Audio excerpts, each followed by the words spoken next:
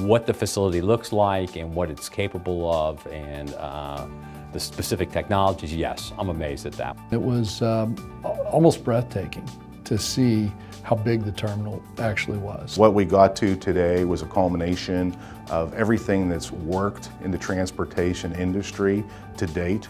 With the LEED certification items that we've put in place here, it's more about the building and about the environment. It's definitely unique. When you walk into a building like this and you see what a LEED certified terminal looks like and what a pleasant work environment it is, well, it's easy to get behind that.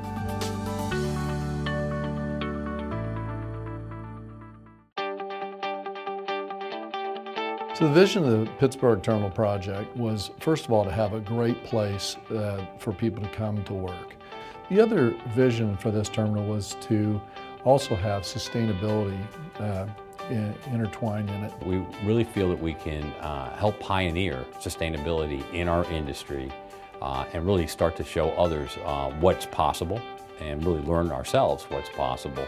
Uh, we've invested in uh, infrastructure in our buildings, creating LEED certified buildings here, right here in Pittsburgh. Uh, worked hard on reducing the carbon output with our fleet as well.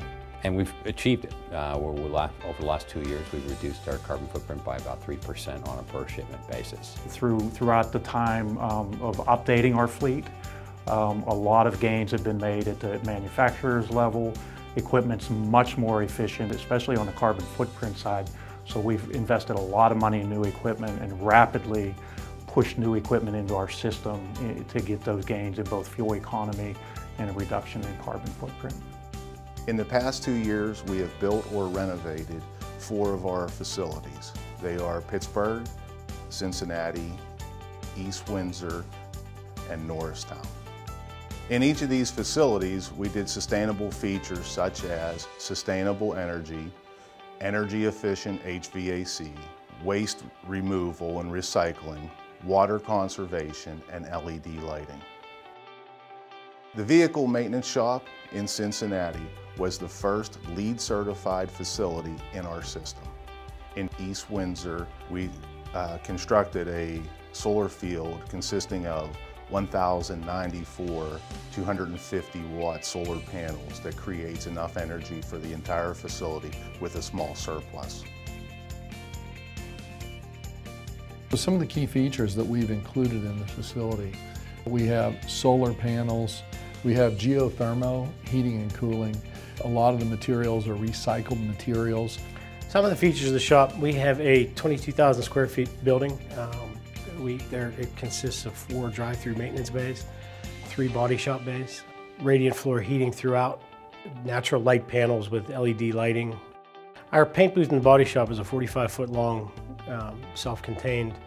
Uh, it filters the air incoming as well as outgoing. It's a heated bay, so it heats the air to 140 degrees for a 30 minute cure time. We started looking into this facility and looking at environmental footprint impact we started looking seriously at the electric forklift line. I think the, one of the bigger surprises here is how efficient the electric forklifts are, how reliable they are, and we definitely will get a return on investment in a very short amount of time as opposed to what we thought. The stormwater management was one of the uh, you know, unique aspects of the, our design. You know, with a site this big, so many buildings, so many paving, you have to control a lot of stormwater. And one of the things we did was we wanted to incorporate uh, bioswales, which would clean the water from the contaminants from the asphalt before it discharges back into the local watersheds. And then a couple other of the unique aspects of the site was the uh, overall landscaping. You know, we selected uh, native plant material so we didn't have to use irrigation or extra water to maintain those plants, as well as uh, LED lights for all the exterior site lighting. So we tried to think of everything that we could to make this a, uh, a great place to work. Pitt, Ohio worked with a number of people to accomplish this project. The vehicle maintenance, ECM transport, the terminal operations, the building maintenance, all of those people had a hand in uh, designing this building so that the functionality of the building was right. We can do more here than ever before based on the size of the building, the height of the building. We also are going in with some new, newer customers that sustainability is, is part of their culture.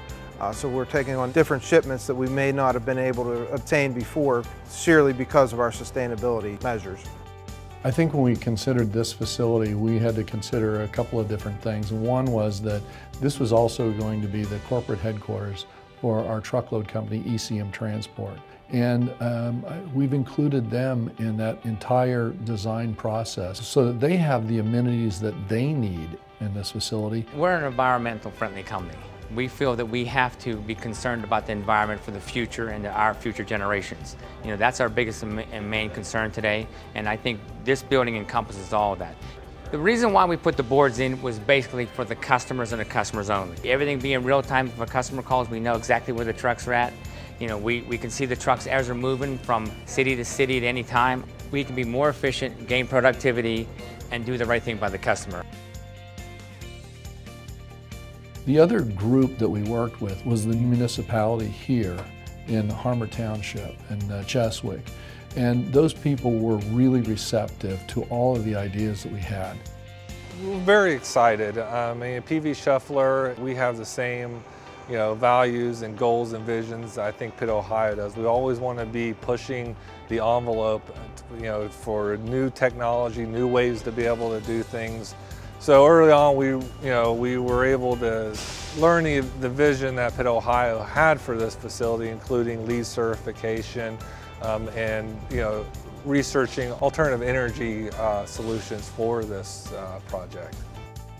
Our partnership with the University of Pittsburgh has been great. It's allowed us to use their graduate students to develop a technology that doesn't exist today. What we have done is combined solar energy which we do a lot of work on here in the school, wind energy, which we also do some work on, and battery storage technologies, again, we're doing work there, integrated through a very novel direct current integration.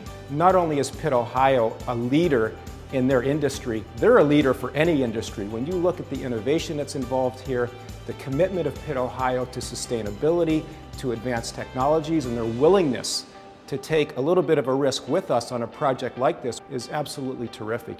This has been a great foundation for us to uh, begin a long-term relationship with the Swanson School of Engineering at the University of Pittsburgh. I never get tired of looking at this terminal. It, I think aesthetically, we really got it right. You recognize that uh, this, how the terminal was situated on the mountaintop uh, to capture all the natural light, uh, the large windows, the large ceilings. When I started in this industry, I never would have thought that uh, I'd work in a terminal that looked like this. I think the employees have a, a, keen awareness on the investment that the ownership has made back into this facility and makes a, broad, a large statement for our future as employees and participants in the overall success of the company. We want to be a leader and have a leadership role in the industry and this facility demonstrates a lot of thought leadership and it demonstrates a lot of pride and ownership of this company. The interesting thing about this facility is we're going to use this as a blueprint for all subsequent terminals, like our new Cleveland terminal being built in Parma, Ohio. When we look at the design of these terminals, we have to look at how we're going to service our customers 5, 10, 15 years in the future. And we know that there are certain things that we need to have the flexibility to do what customers want us to do for them. We're looking at how we can build that flexibility into the design of our facilities and the ways we can use renewable energy and protect our environment. The thing that we're the most excited about is we think the best is yet to come.